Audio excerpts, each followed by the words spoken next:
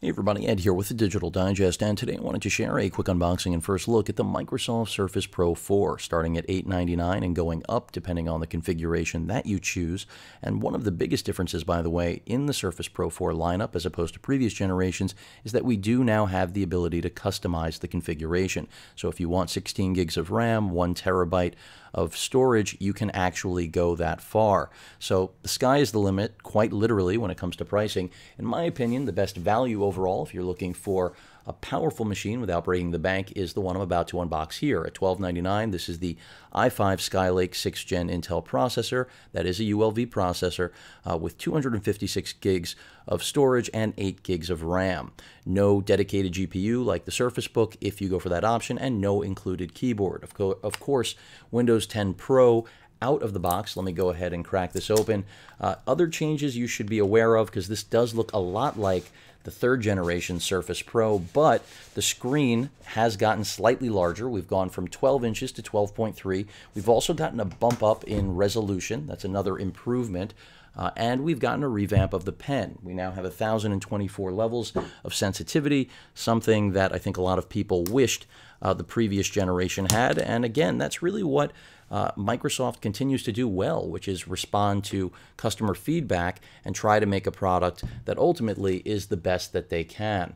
Uh, so things have also gotten a little bit slimmer. I didn't mention that. Uh, we have a front-facing camera right here. Uh, the ability, of course, to recognize your retina. You can see the uh, smiley face right there, part of the Windows 10 Pro experience.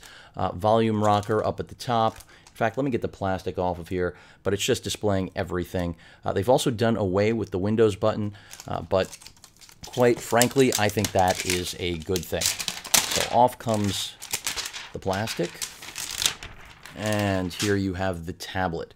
So really it does look a lot like the Surface Pro 3.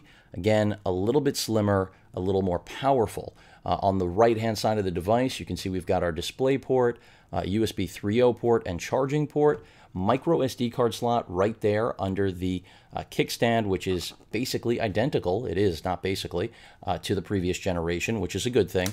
Uh, and then uh, we also have now, of course, much like the previous gen, uh, a port down here in terms of for using access accessories like the uh, type cover. And on the left hand side, we have our uh, headphone and microphone jack right there uh, at the top. Uh, at the top of the actual device, power button and volume rocker, and we have both a front-facing and rear camera, which have also been improved on both ends. So high expectations for this tablet, no question about it. Front-facing speakers right here. Going to see if it powers on. Let's take a look. And there we have it. And you know, ultimately, battery life has not improved. It's being quoted as up to nine hours, so that's essentially the same as the previous generation. And this is going to lead a lot of users to be uh, more interested in the more value oriented uh, Surface Pro 3, although Microsoft is claiming that the Surface Pro 4 has up to 30% more performance capability with that 6th gen Skylake uh, Intel CPU. You can see the pen right here, new. Uh, we have now a rubber eraser tip on the back, or at least textured uh, tip, I should say, and they've redesigned this.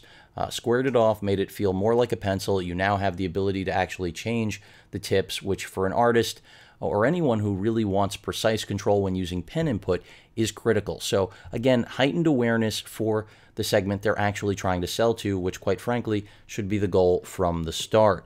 Uh, on the right side here, beyond paperwork, we have our power brick, which should look familiar, and that's because it's the exact same one uh, that we had last generation. We still have a USB port on it for charging additional uh, USB-driven devices, and that pretty much sums things up. I mean, the Surface Pro 4 is really all about, as I mentioned, Microsoft just taking something that is successful and uh, definitely capitalizing on it and making sure that customers get exactly what they're looking for out of uh, their brand new product. So I like what I see here. I like what I saw in the uh, introduction of the product when I had my first hands on with it.